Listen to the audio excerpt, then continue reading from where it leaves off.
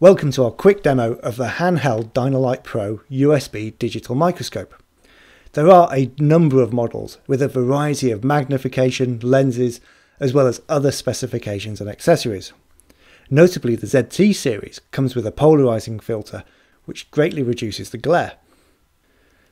This model is the AM4113T, with a 1.3 megapixel image sensor, it can produce high resolution images and record HD video up to 30 frames per second.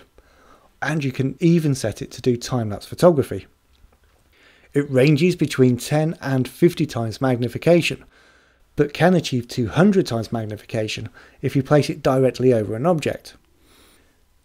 On the side, there's the thumb wheel, which alters the zoom and focus by simply shifting the lens up and down and this can be locked with the switch here.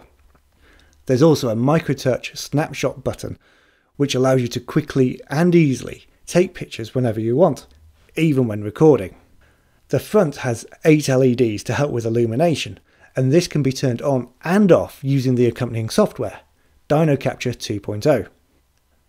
If I just plug in the microscope, we immediately see the live image feed come through onto the screen. It has capture modes to the side and image tools and camera settings just at the top.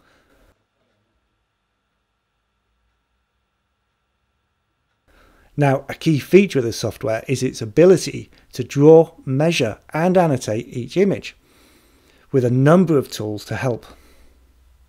So there we go, that's the AM43113T digital microscope from Dino-Lite.